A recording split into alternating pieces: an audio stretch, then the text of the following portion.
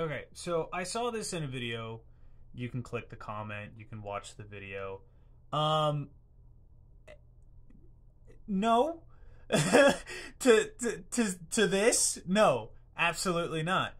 What should happen is paleontologists, first off, should get paid more to be able to fund their digs, to be able to have as much time and as much funding as they possibly can to be able to get you the 100% accurate look to these animals so they can have the time, so they can have the money, so they can get the permits to do all the things to be able to look up and dig through the ground in sometimes scorching deserts and sometimes blistering cold uh, areas like Antarctica. To be able to find these fossils, to put them back together, and to give you the most accurate look to these animals as possible. Now, in the video, they were talking about Spinosaurus and Spinosaurus. Now, I've already done a video on Spinosaurus. It is from the book All Yesterdays, and that book is just kind of explaining to the public that there is a better way to reconstruct extinct animals, mostly dinosaurs. So there's also uh, uh, more interpretations of behavior. Like the, the, I think on the cover there's a bunch of Protoceratops just chilling out in a tree. It's possible they could do that. None of the stuff in the book is improbable, but when it comes to paleo artists and depicting what these animals looked like, you can't just go cool as fuck, edgy 90s spikes everywhere, basically what Jurassic World does. You can't do that because they're animals. You know, if if you're going to make a fantasy world like Jurassic World, like Jurassic Park, you know, science fiction, sure, go for it. Go go crazy, but don't try and paint it as reality. Like Spinosaurus is kind of the famous one for going all over the place with its design. Um, and that's just because we keep finding more fossils on it. Like especially with the tail fluke, that was what, 2 years ago that scientists discovered that and it was attached to the body. So like what are you going to do about it? You know, it's like it's like people giving I don't know, stegosaurus plates on a tiger.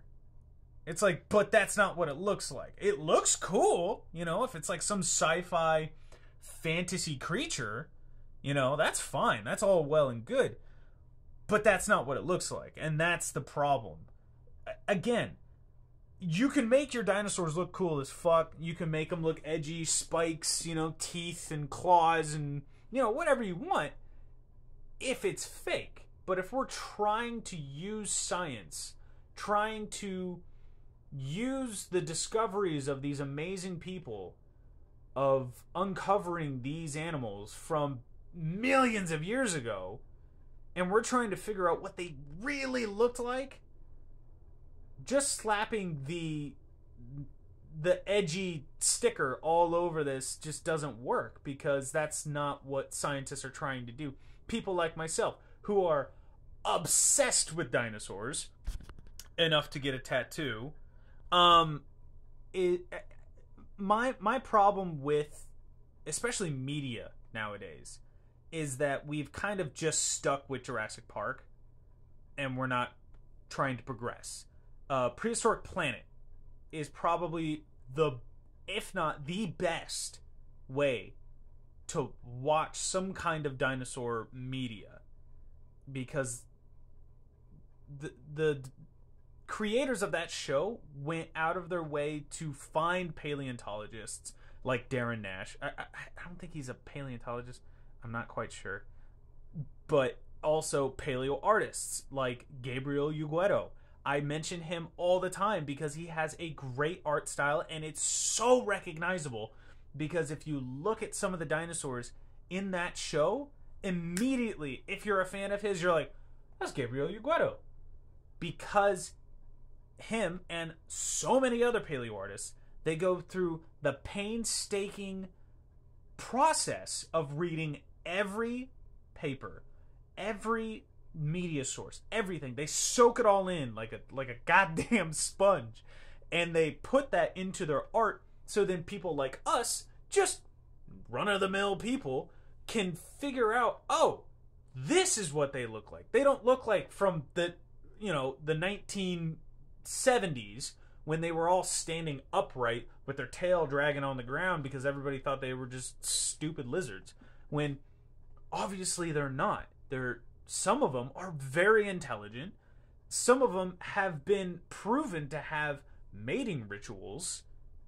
Some of them have been proven to be colorful. We can see what color they were. Like again, just by default trying to make them as cool as possible, whatever. I don't know, man. You might want to look at some. Uh, Mark Witton. That's another great paleo artist. He has.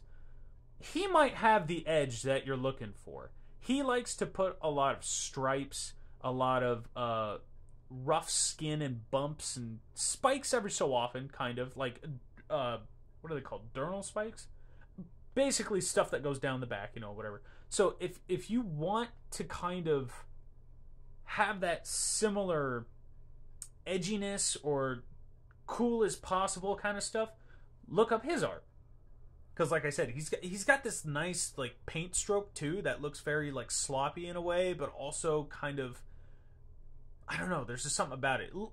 Mark Witton with two T's. Look him up. You might like his art, and he, just like Gabriel Ugueto, um, all all sorts of people out there, all paleo artists. You know, they try their best to make these things look as real as possible, as up to date as possible, and that's just kind of what we have to do, especially with stuff that are extinct. We're just lucky that like the dodo bird, which is a dinosaur, it is an avian dinosaur, even though it doesn't fly. Um, th- we have remains of that, like mummified remains of it, literally like it was that close enough to be able to you know have skin tissue and stuff like that.